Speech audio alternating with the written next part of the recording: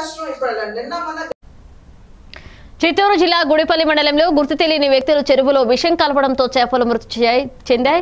చెరువులో చేపలు పెంచుకోవడానికి శ్రీరాములు నాయుడు అనే వ్యక్తి లక్ష అరవై వేలకు పంచాయతీ వేలంపాటలో హక్కులను దక్కించుకున్నారు. అయితే ఐదు లక్షల రూపాయల విలువ చేసే చేప పిల్లలను చెరువులో వదిలి నెల రోజులు అవుతుందని ఎవరూ గుర్తు తెలియని వ్యక్తులు చెరువులో రసాయన మందులు కలపడంతో చేపలు మొత్తం చనిపోయాయని ఆయన ఆవేదన వ్యక్తం చేశారు.